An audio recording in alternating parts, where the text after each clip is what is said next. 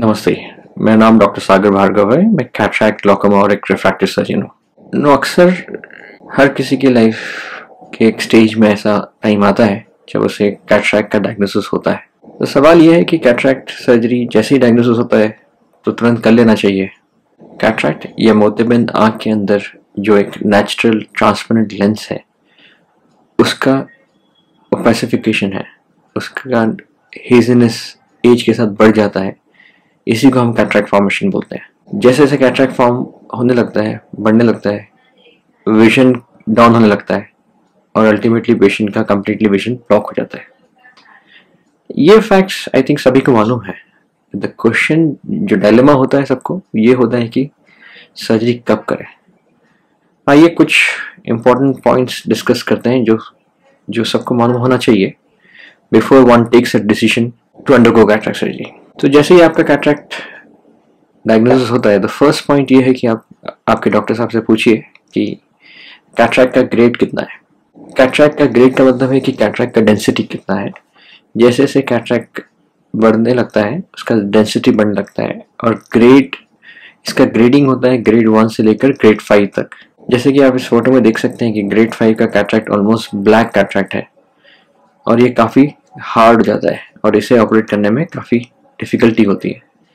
सो so, जो ideal stage है जिसमें कैटरेक्ट निकालने में ज़्यादा रिस्क नहीं होता है वो ग्रेड टू और ग्रेड थ्री होता है।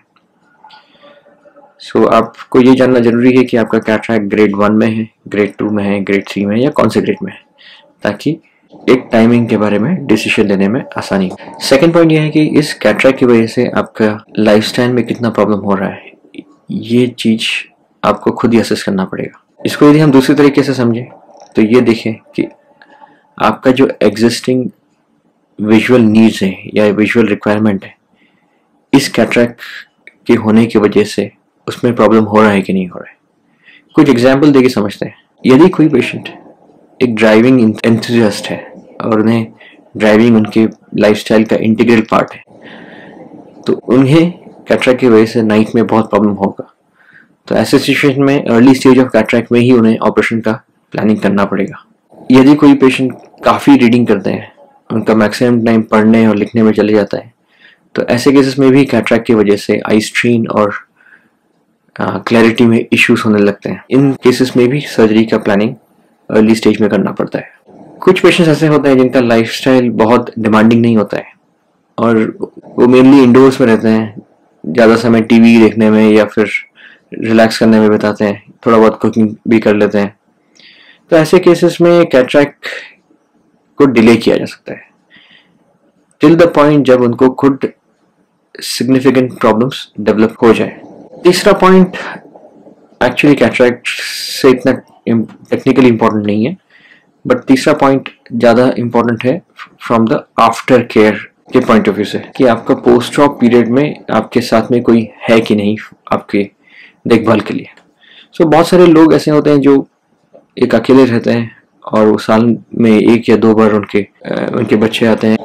तो, तो ऐसे केस में आप अपने डॉक्टर से ज़रूर पूछिए कि क्या ये ऑपरेशन जो लेटेस्ट विज़िट होने वाला है आपके अटेंडेंट का उसमें किया जाए या ये एक साल अगले विज़िट तक डिले किया जा सकता है। सो so, इस पॉइंट में डॉक्टर का काफ़ी इम्पोर्टेंट सजेशन है जिसको आपको इम्पोर्टेंस देना पड़ेगा और उसके हिसाब से आगे चलना पड़ेगा। सो हमने देखा कि cataract surgery actually case to case basis पे डिसाइड करना पड़ता है। पेशेंट का बहुत इंपॉर्टेंट रोल है specially early stage of cataract में। उन्हें वो सारे पॉइंट्स जो मैंने अभी आपको बताया, वो सब सोच समझ के ऑपरेशन का डिसीज़न लेना पड़ेगा अर्ली स्टेजेस में। जिसे हम लोग हमारी लैंग्वेज में बोलते हैं कि ball is in patient's court to take a final call advance stages में कैटरेक्ट सर्जरी का डिसीज़न जो ट्रीटिंग सर्जन uh, है उनके ऊपर होता है। और preferably in cases in stages में कैट्रैक को डिले नहीं करना चाहिए बिकॉज़ जितना डिले करेंगे उतना रिस्क ऑफ़ कॉम्प्लिकेशन बढ़ते जाता है। इस वीडियो से हम ये कंक्लूड ज़रूर कर सकते हैं कि कैट्रैक का डायग्नोसिस का मतलब ये नहीं हुआ कि कैट्रैक सर्जरी करना ही करना है। और जैसे हमने डिस्कस किया सारे पॉइंट्स को ध्यान में रखते हुए ये डिसीज़न में आपका एज अ पेशेंट बहुत इंपॉर्टेंट रोल है to take a final decision on cataract surgery I hope this video is useful. Thank you.